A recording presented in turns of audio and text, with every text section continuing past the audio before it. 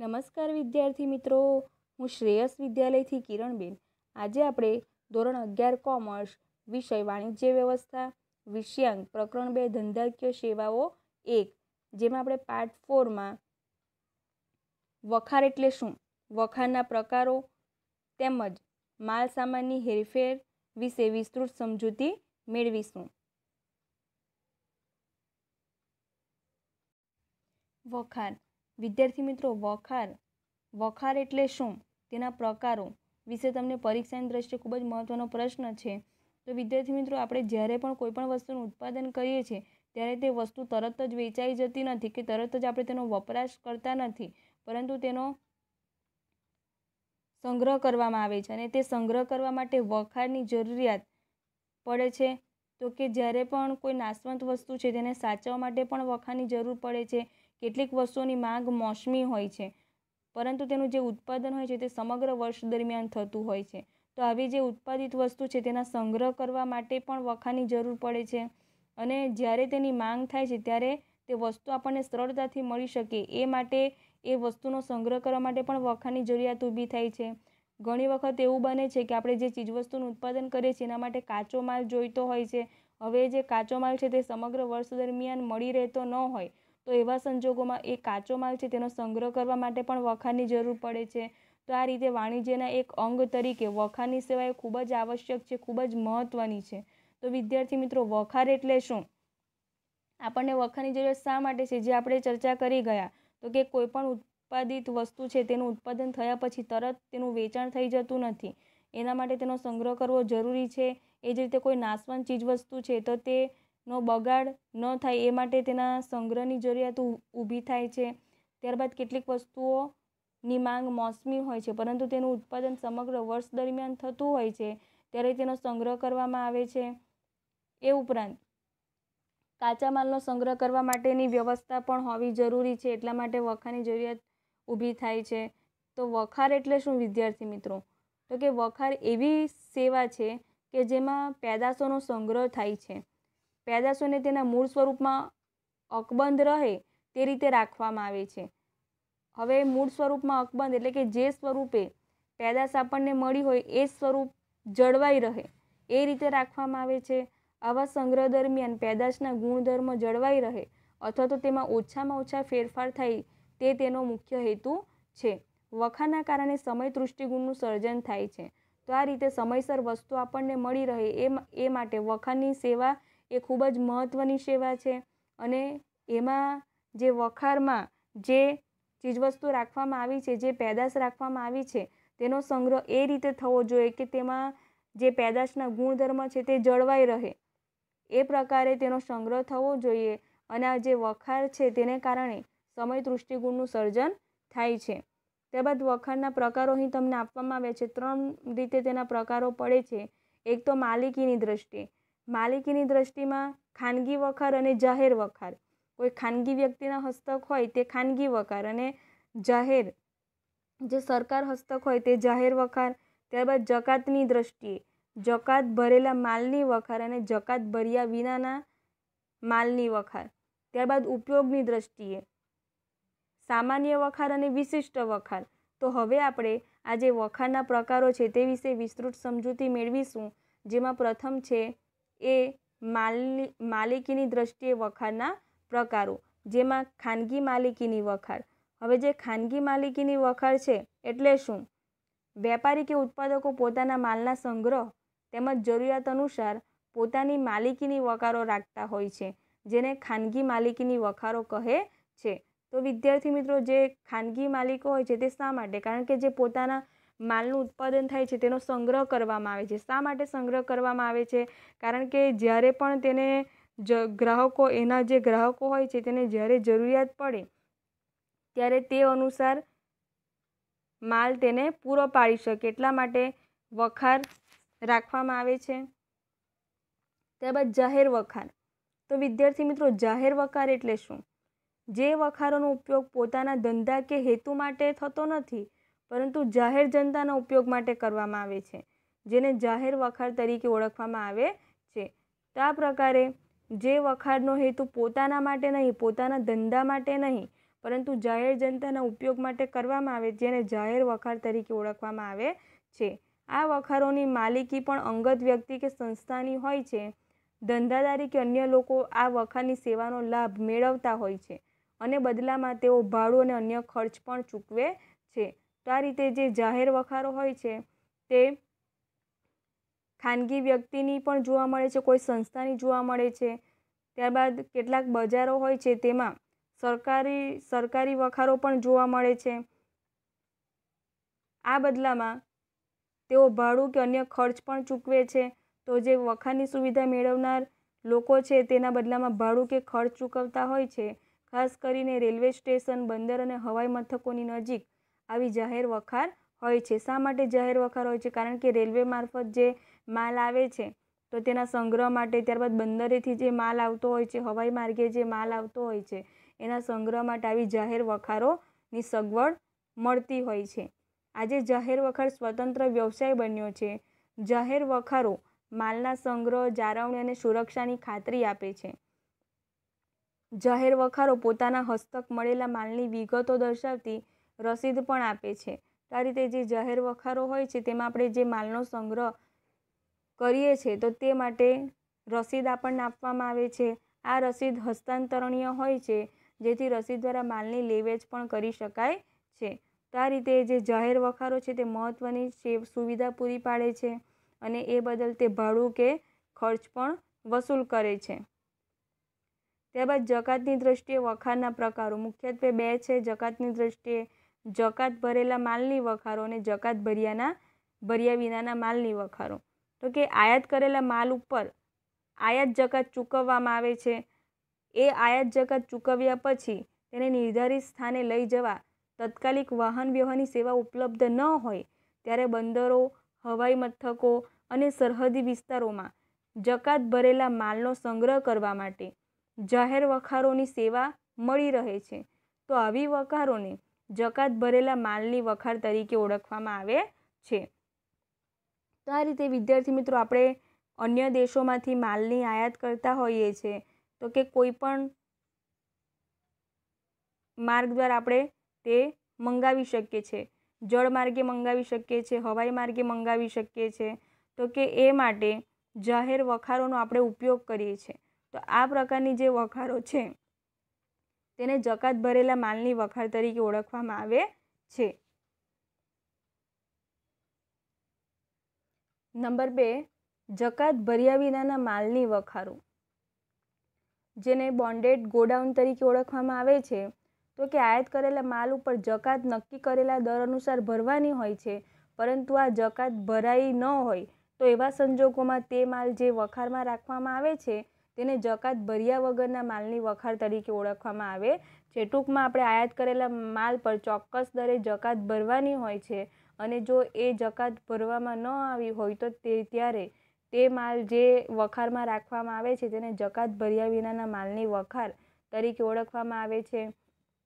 જે સ્થળે માલ આયાત થતો હોય તે જગ્યાએ આવી વખારો જોવા મળે છે. જેમ કે બંદરો, સરહદી જમીન વિસ્તાર, ત્યારબાદ હવાઈ મથકો વગેરે જગ્યાએ માલની આયાત અને નિકાસ થતી હોય છે અને એવા વિસ્તારોમાં આ પ્રકારની વખારો જોવા મળે છે.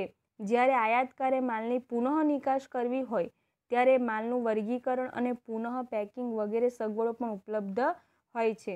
તો આ પ્રકારે જ્યારે આયાતકાર હોય છે, એ પોતે આયાત કરેલા માલનું ફરીથી નિકાસ કરવા માંગતો હોય અન્ય જગ્યાએ, તો એવા સંજોગોમાં ફરીથી પુનઃ પેકિંગ અને માલનું વર્ગીકરણ પ્રકારની સુવિધા પણ વખાર દ્વારા પૂરી પાડવામાં આવે છે. માલના મૂળ સ્વરૂપમાં કોઈપણ પ્રકારનો ફેરફાર કરવામાં આવતો નથી અને આવી વખારો પુનઃ નિકાસ માટે આશીર્વાદ સમાન છે. તો આ રીતે તમને વિધાન પણ પૂછાય છે, આશીર્વાદ સમાન? જકાત ભર્યા વિનાના માલની વખારે આશીર્વાદ સમાન છે? સમજાવો. તો તમારે આ પ્રકારે સમજૂતી આપવાની રહેશે. તો જકાતની દ્રષ્ટિએ મુખ્યત્વે બે પ્રકાર છે, જકાત ભરેલા માલની વખાર અને જકાત ભર્યા વિનાના માલની વખાર ત્યાર પછી નંબર સી, ઉપયોગની દ્રષ્ટિએ વખારના પ્રકારો. તો વિદ્યાર્થી મિત્રો, ઉપયોગની દ્રષ્ટિએ મુખ્યત્વે બે પ્રકારો છે. સામાન્ય વખારો અને નંબર બે, વિશિષ્ટ વખારો. હવે સામાન્ય વખારો એટલે શું અને વિશિષ્ટ વખારો એટલે શું? જે માલના સંગ્રહ, જાળવણી અને સુરક્ષા માટે ખાસ અથવા તો અલાયદી સેવા ન આપવી પડે તેવા માલ રાખવાની વખારને સામાન્ય વખાર તરીકે ઓળખવામાં આવે છે. ટૂંકમાં કોઈ પણ જે માલ રાખવામાં આવ્યો હોય છે તેને ખાસ સુવિધા કે સુરક્ષા પૂરી પાડવામાં આવતી ન હોય તો એવા પ્રકારની જે વખાર છે તેને સામાન્ય વખાર તરીકે ઓળખવામાં આવે છે. આ વખારમાં લગભગ બધા જ પ્રકારના આકાર, કદ, વજન અને સ્વરૂપવાળા માલને રાખવામાં આવે છે. આ પ્રકારની વખારો મોટા પ્રમાણમાં જોવા મળે છે. તો કે આ રીતે આકાર, કદ અને વજન સ્વરૂપવાળા માલ રાખવામાં આવતા હોય છે અને આ પ્રકારની જે વખારો છે તે વધારે પ્રમાણમાં જોવા મળે છે.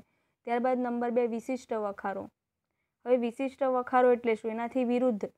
જે માલના સંગ્રહ જાળવણી અને સુરક્ષા માટે ખાસ અથવા તો અલાયદી સેવા આપવી પડે, તો એવા માલને રાખવાની વ્યવસ્થાને કે વખારને વિશિષ્ટ વખાર કહે છે.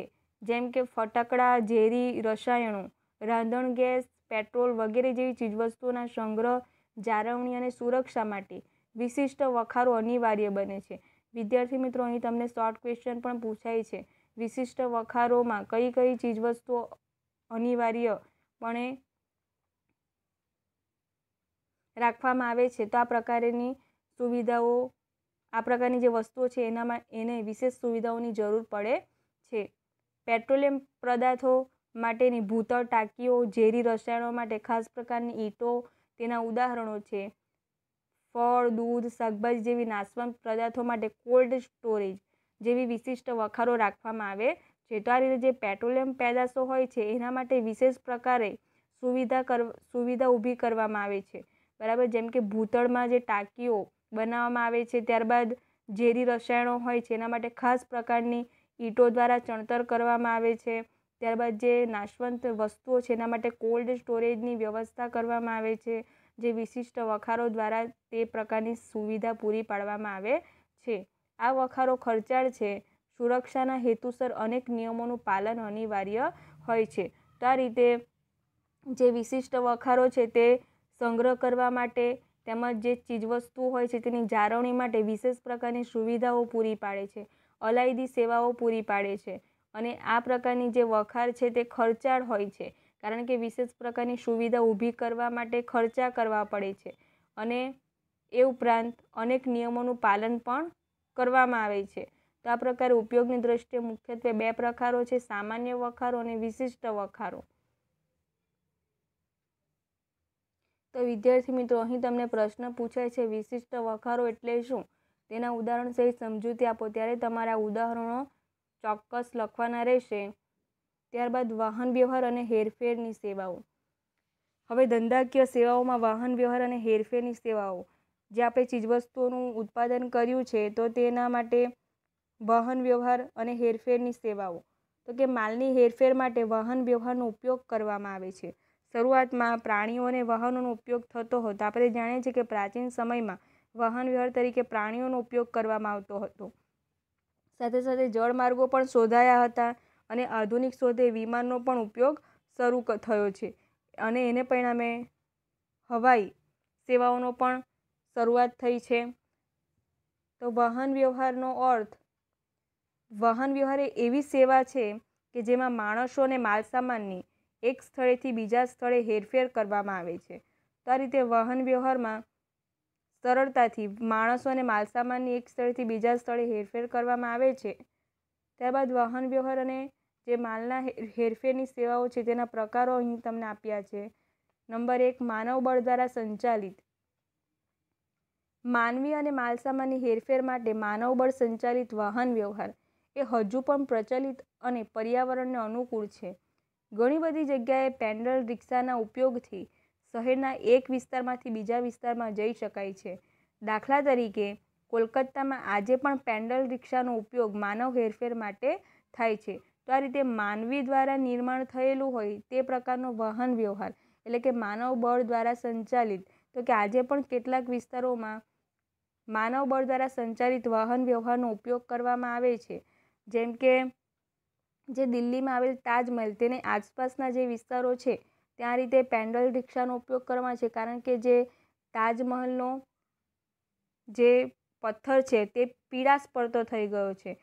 અને એને પરિણામે સરકાર દ્વારા આ પ્રકારના નિયંત્રણો મૂકવામાં આવ્યા છે. હાથલારી દ્વારા આજે ભારતના લગભગ બધા જ પ્રદેશોમાં માલ સામાન નજીકના સ્થળો સુધી પહોંચાડવામાં આવે છે. તો કે આજે પણ હાથલારી દ્વારા જે માલ સામાન હોય છે તેની હેરફેર કરવામાં આવે છે. પશુબળ દ્વારા સંચાલિત તો કે આજે માનવ અને માલ સામાનની હેરફેર માટે, ટૂંકા અંતર માટે પશુઓનો ઉપયોગ કરવામાં આવે છે. તો કે આ રીતે પશુ દ્વારા માનવ તેમજ માલસામાનની હેરફેર માટે, ટૂંકા અંતર માટે પશુ બળ દ્વારા સંચાલિત વાહન વ્યવહારનો ઉપયોગ કરવામાં આવે છે. જેમ કે ઘોડાગાડી, બળદગાડું વગેરે. નંબર ત્રણ, હવાઈ માર્ગ. હવાઈ માર્ગે પણ માણસો તેમજ માલસામાનના ખૂબ જ ઝડપી હેરફેર માટે, લાંબા અંતર માટે આ રીતે હવાઈ માર્ગ વાહન વ્યવહારનો ઉપયોગ કરવામાં આવે છે. ટૂંકા અંતર માટે હવાઈ માર્ગનો ઉપયોગ મોંઘો સાબિત થાય છે. કારણ કે આ રીતે હવાઈ માર્ગ દ્વારા મુસાફરી કરવું હોય, એક જગ્યાએથી બીજી જગ્યાએ આપણે માલસામાન મોકલવો હોય, તો તે ખૂબ જ ખર્ચાળ છે. અને એને પરિણામે જે ટૂંકા અંતરે જો આપણે માલસામાનની હેરફેર કરવી હોય, તો હવાઈ માર્ગ યોગ્ય નથી. બરાબર? તો આ રીતે લાંબા અંતર માટે હવાઈ માર્ગ યોગ્ય છે. વિમાનને આકાશમાં ચડવા અને ઉતરવા માટે રનવે જરૂરી હોય છે. ટૂંકા ગાળાના અંતર માટે થોડા માણસો અને માલસામાન માટે જ્યાં રનવે ન બની શકે તેવા દુર્ગમ વિસ્તારો માટે હેલિકોપ્ટરની સેવા વધુ યોગ્ય રહે છે. તો આ રીતે ટૂંકા અંતર માટે થોડાક જ માણસો અને માલસામાન માટે જ્યાં રનવે ન બની શકતો એવા જે દુર્ગમ વિસ્તારો છે ત્યાં હેલિકોપ્ટરનો ઉપયોગ કરીને માલસામાનની હેરફેર થઈ શકે છે. ત્યારબાદ નંબર ચાર, જમીન માર્ગે. જમીન માર્ગ નંબર એ, રેલવે માર્ગ. જમીન માર્ગ માર્ગમાં મુખ્યત્વે બે છે, રેલવે માર્ગ દ્વારા વાહન વ્યવહાર અને રસ્તા માર્ગ દ્વારા વાહન વ્યવહાર. હવે રેલવે માર્ગ દ્વારા કઈ કઈ ચીજવસ્તુની હેરફેર કરવામાં આવે છે? તો કે રેલવે દ્વારા માણસો અને માલસામાનની હેરફેર થાય છે.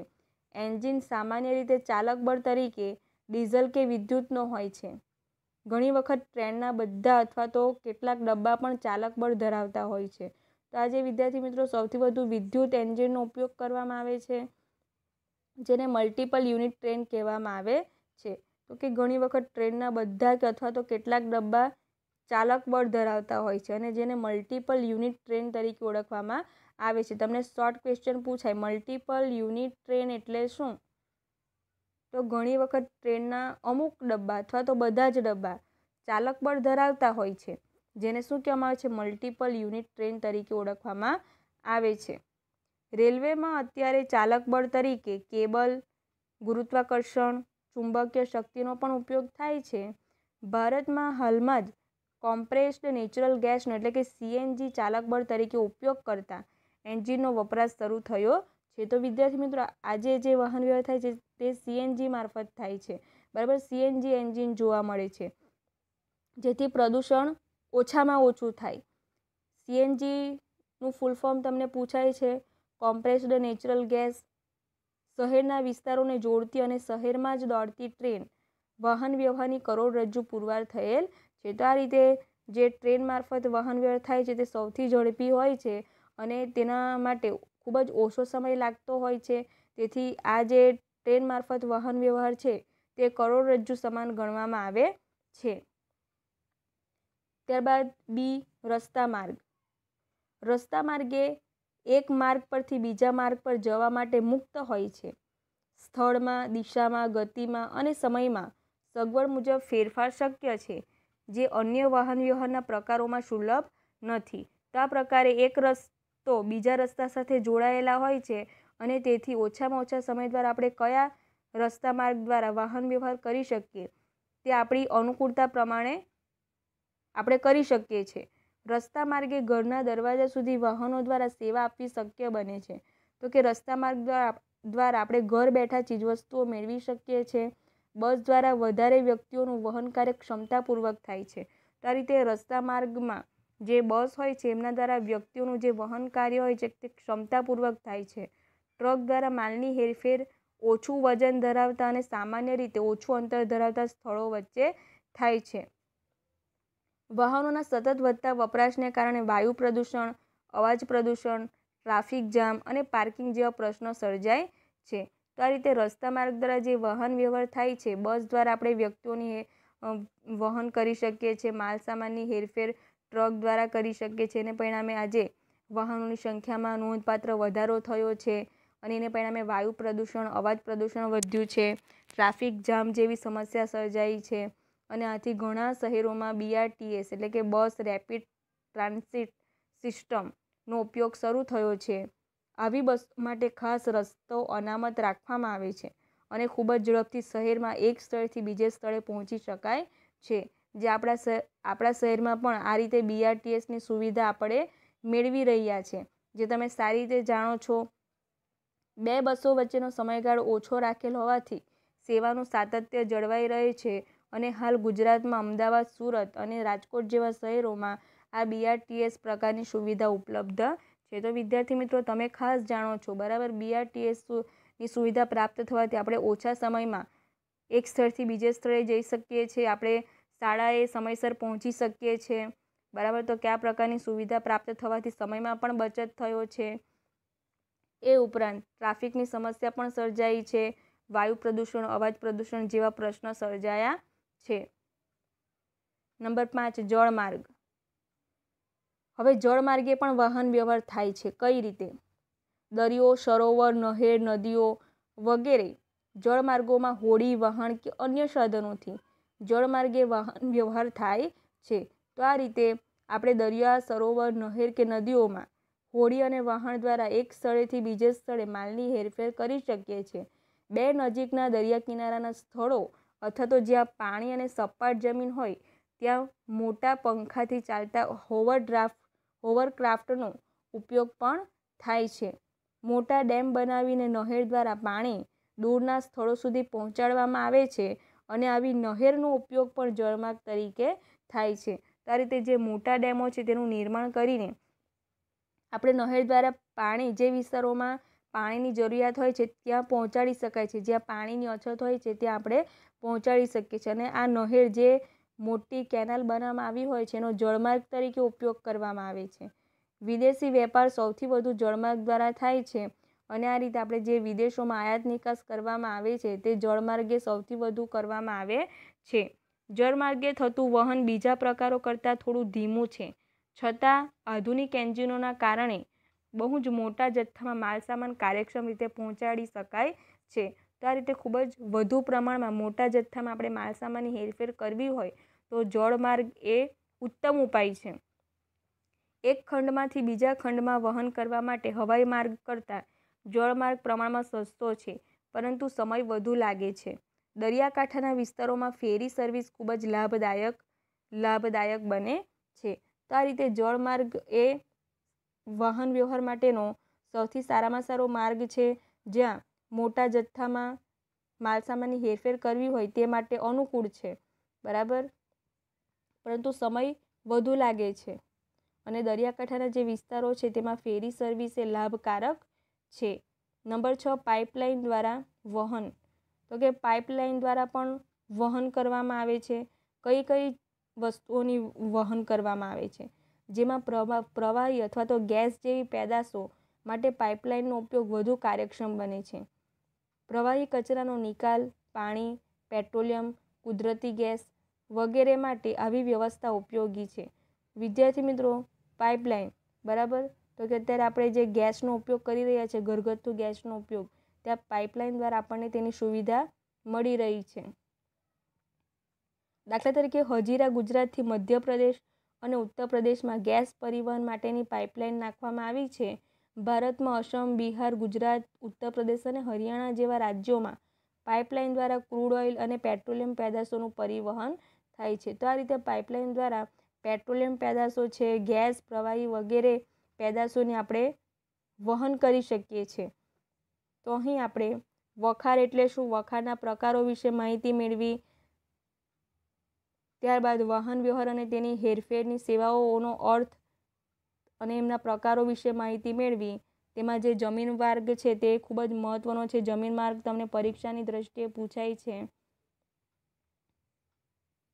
તો અહીં આપણું પ્રકરણ પૂર્ણ થાય છે. સ્વાધ્યાયમાં તમારે મહત્ત્વના પ્રશ્નોમાં પ્રશ્ન બે, પ્રશ્ન ત્રણ, પ્રશ્ન ચાર અને પ્રશ્ન પાંચ.